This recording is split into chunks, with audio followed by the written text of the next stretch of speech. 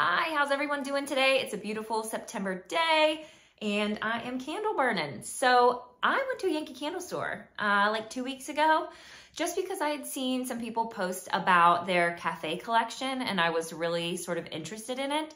Um, there are four fragrances in it. I picked out two, but I liked them all. Um, full disclosure, I have a sampling here from Yankee. I like them all. There's no, you know, hot goss. There's no tea here. I, I didn't really dislike any of the ones that I chose. Um, that said, there were some in the store that were no for me, but since I was there, I of course picked what I liked.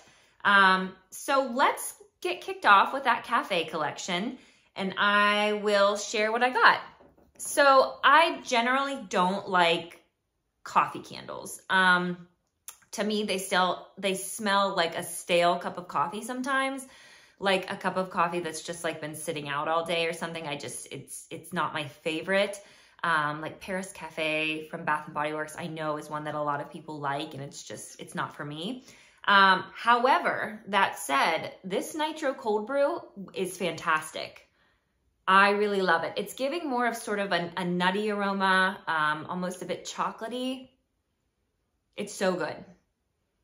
I absolutely love it. Uh, it's the only coffee fragrance I think I've ever smelled that I was like, I really want to take that home. So I'm happy I picked it up.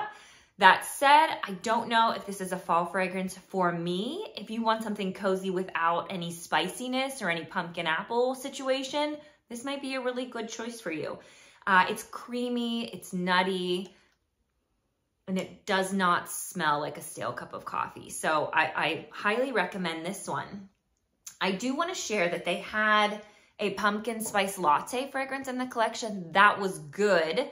That said, I'm doing a lot of pumpkin given the season, so I decided to go with something different and I picked up vanilla chai latte. And I also really like this one in terms of a coffee fragrance. It's very spicy. Um, and I wish the vanilla would come through a little bit more. It's almost leaning caramel to me but the spice is definitely at the forefront. So, and, and it is smelling like those chai spices. So I very much like this one also. I think this is a great fall fragrance.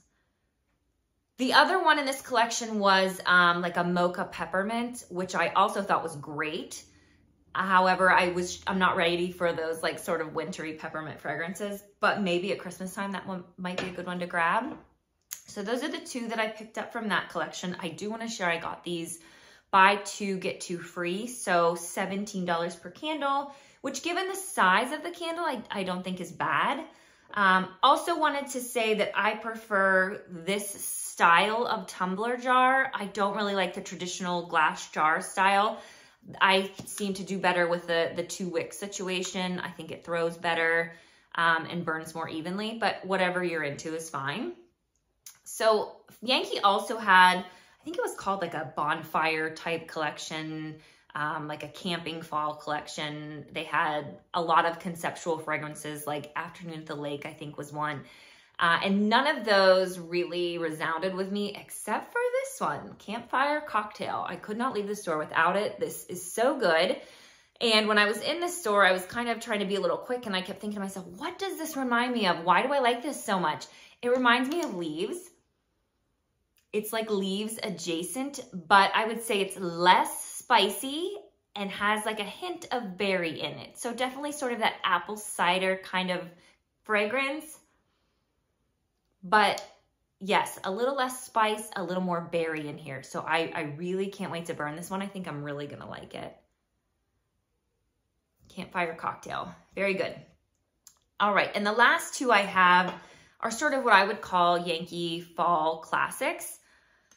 And first I'm gonna talk about Harvest. Everybody loves Harvest. Now, if you are a spice person and you really love those good clove and cinnamon fall spices, this is one for you. There's a hint of apple in there, but it's definitely spice forward. I love a good spicy candle. This is one that I will definitely burn October, November timeframe. It's so good. It's always been good. Um, I think they probably reformulated it a smidge from the original, but to my nose, I can't tell. And lastly, I did a short on this one last week because I have been burning it. I am burning Autumn Wreath. And as you can see, I'm almost done with it. I just blew it out, so I don't lid back on. Um, and Autumn Wreath has been around for a long time. I don't know if I've ever had this one, even years and years ago.